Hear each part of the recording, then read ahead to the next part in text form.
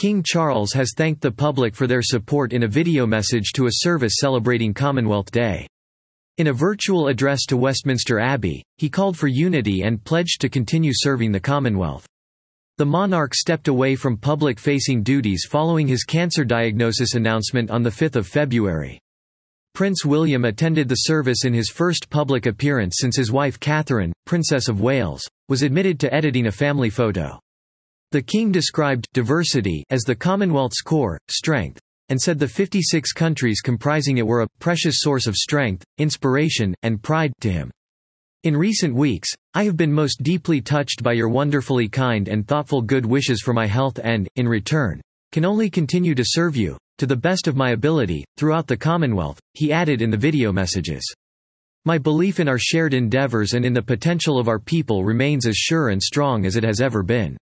Commonwealth Day, a major fixture in the royal calendar, risks being overshadowed by the fallout from the Catherine photo controversy. Her husband, Prince William, joined Queen Camilla for the service along with members of the royal family.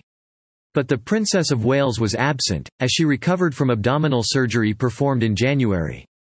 Kensington Palace confirmed Catherine had left Windsor in a car with William earlier, as he was driven to the service. She did not attend, but is understood to have a private appointment.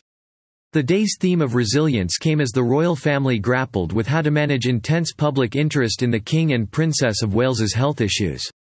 The King's message stressed the need for unity within the Commonwealth. I have no doubt that we will continue to support one another across the Commonwealth as, together, we continue this vital journey. A group of protesters from the Republic campaign group gathered near Westminster Abbey.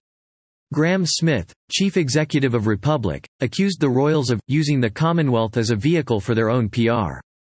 The platitudes we heard from Charles and Camilla only served to paper over serious concerns about human rights abuses and a lack of democracy in many Commonwealth countries, he said.